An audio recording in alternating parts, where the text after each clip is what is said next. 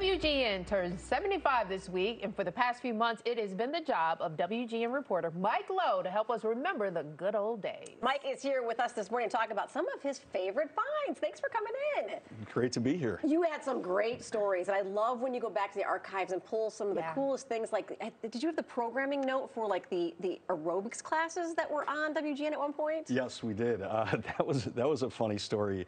Uh, that we, that was one of the first things, uh, first kind of exercise programs that was ever on any television Yeah. So station anywhere. And you bring that up, and it, it makes me think of all the other firsts Yeah. that that WGN has been a part of. The first courtroom drama, the first quiz show that was ever on television, uh, the first beauty pageant, and of course in Chicago, the first newscast Oh, uh, in this city. So we Night were Beat. innovators in programming, but also on the technological side too. And you had a chance, with the video that you were able to uncover and the stories that you were able to tell. One of my favorites is the whole Chicago's very Oh, own yeah. slogan campaign. You, you were able to actually track down the ad executive that came up with that idea, right? Yeah, we, we were thinking about what should we do if we want to find like interesting slices of the WGN story, and I, I just asked the question, where did that come from? Who who came up with that? Because this was the days before Chat GPT, Yeah, so, yeah. so so a real person had to come up with the slogan Chicago's very own, and we made some calls and uh, talked to the former. Um, creative services director Peter Marino, and he directed us to this guy, Mike Watercott, who you see on the screen next to Lou Rawls there. Uh, and he he came up with it actually one night at Su Casa um, on Ontario Street Oh. So while funny. drinking margaritas. He wrote, jotted it down on a napkin. And he saved the napkin. That's so cool. he doesn't live here anymore. He lived in Evanston for like 40 years, um, but just moved to North Carolina. So we had to track him down in the Blue Ridge Mountains and, uh, and Did get he the remember story. all of And- To- totally remembered it. Uh, he was a part of some legendary ad campaigns. He did Michael Jordan's first television commercial ever. Uh, Be like Mike campaigns? uh, not be like Mike. It was a Chevy, local Chevy commercial. This, so this was Oh, before, before Michael that, Jordan that, was okay. Okay. big enough to be national McDonald's and Gatorade. This it was a local Chevy commercial, but the first one Jordan had ever done. He did the uh, Black and Blues Brothers poster of the '85 Bears. That's cool. Um, but he says this was the most uh, fulfilling and his favorite thing he's ever done, and it clearly is the most uh, successful image and campaign lasting, because it's still going on. And in it's in television other, history. other TV stations in other states have adopted it too. uh, other Tribune state uh, stations like uh, WPIX PIX in Yeah. New York. New York, uh, but it really doesn't mean the same. No, the connection exactly. is with us. Yeah. Oh my gosh. That is great. And you yourself be, were a part of the whole WGN family legend. Your mom, there's a story about a miracle bowl. a Miracle Bowl. So I was an intern at Channel 9 back when I was a student at Northwestern, and so I had kind of always remembered uh, the assignment desk number. And I was living in Germany, and I uh, was on the phone. That's my mom on the screen right there.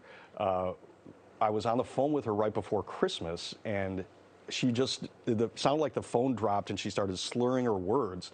And there I am. Look at Look that. at, the at long that young kid. Um, and and she she had some issue with a brain tumor, and I'm like 5,000 miles away. So I got on the next flight. She had to have surgery. There's the doctor, Dr. Awad, who did such a great job. My mom is still with us. She's doing great. She's still teaching, teaching reading uh, in the And the bowl, good- did the bowl hit her too? The, the reason that we call it the Miracle Bowl and the reason that WGN wanted to do the story is she was like doing some dishes and putting a trying to put a bowl uh, back on the shelf and it slipped out of her hands and like triggered this neuro- neurological event and uh, she like fell down and I, I thought she was having a stroke or something when I was on the other end of the line.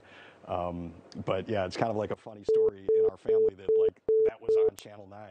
So And you guys still have the bowl, I was like, right? where's the bowl? we still have the bowl. It's a it's a priceless family heirloom. I bet. Well, and I love that you gave me a story. This was years ago. Your parents, the, the folks that know the rocks in Evanston that are painted, your parents were like the first rock out there. Yeah, before uh, on the Northwestern campus, if you go down there now, it's uh, right on the lakefront. Every student, you know, couples paint their names with hearts or messages, political messages, funny messages, just artwork, all up and down the lakefront on the Lakefill campus. Uh, and my parents had done that like almost 50 years Yeah. ago when Wow. they were when they were high school sweethearts at New Trier. That's So- so crazy. Yeah.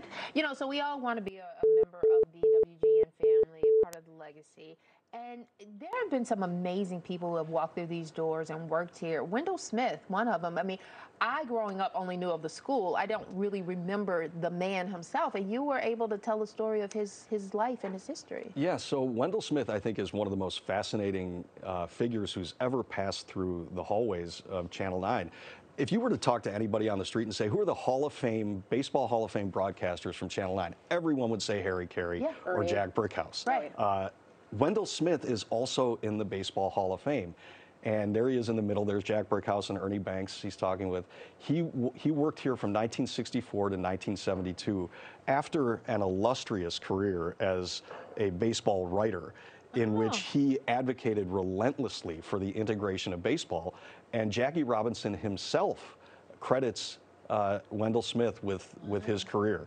Uh, it was Wendell Smith advocating to Branch Rickey and recommending that Jackie Robinson be the man to break the color barrier that made it actually happen. And then he worked for us for the final eight years of his career. Sadly, Wow. he died very early because of cancer at uh, age 58. But, uh, but you're right. There's a plaque. There's a school. Uh, there is a park named after him. Um, and he's in the Baseball Hall of Fame, and he's one of Chicago's very own. That is so cool. And I always love that you have that pin on. I want that pin. It's hard to find. Yeah, this is uh, this is the uh, spinning world logo. Actually, the guy Yeah. who came up with Chicago's very own the slogan also designed this logo, and this was meant to be.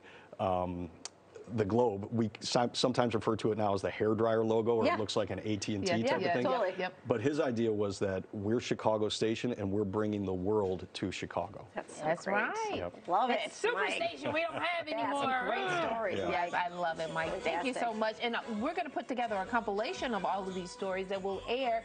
You can watch it WGN at 75 this Wednesday, April 5th from 7 to 9 p.m. There will be an encore presentation on Sunday from 7 to 9 as well. So, Some really great storytelling by Mike Lowe in that yes, program. thanks, Mike. Thanks, Mike. Thanks for having me. Appreciate it.